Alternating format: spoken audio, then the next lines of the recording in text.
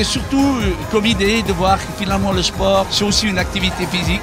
Et c'était de mettre en mouvement la population lausannoise.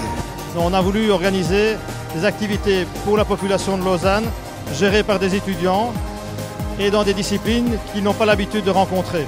Le service des sports de l'université et de l'école polytechnique de Lausanne ont participé, a participé activement à monter des ateliers et à organiser l'événement qui est un gros événement.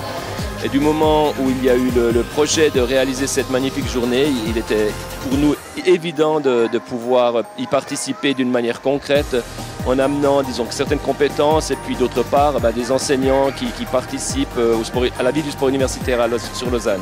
De rencontrer d'autres personnes dans un, événement comme ça, c'est génial. Euh, c'est un événement qui me tenait à cœur parce que c'est le sport pour tous, euh, bouger pour la santé, se faire du bien.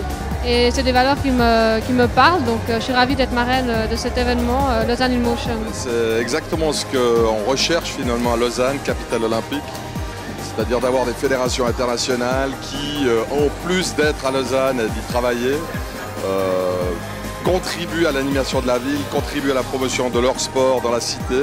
Et c'est un magnifique exemple de, partenariat. On est très très heureux. Ah, on est tout à fait derrière et on va soutenir encore, on va continuer à soutenir euh, cet, événement magnifique. Mais l'ambiance qu'on voit ici a l'air très positive, les gens ont l'air d'être contents d'être là.